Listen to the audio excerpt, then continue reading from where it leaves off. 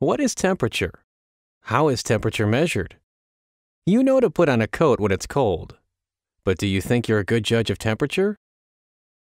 Let's try an experiment to see how good you are at recognizing temperatures. Three plastic tubs are set up next to each other. The middle tub is filled with room temperature water. One of the other tubs is filled with cooler water. The last tub is filled with warmer water. Now place one hand in the cooler water and one hand in the warmer water. It's easy to tell the cool water from the warm water with one hand in each.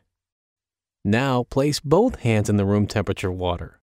Can you still determine the temperature of the water? Even though the bucket of water has a single temperature, the water feels warm to the hand that was in the cooler water, but it feels cool to the hand that was in the warmer water.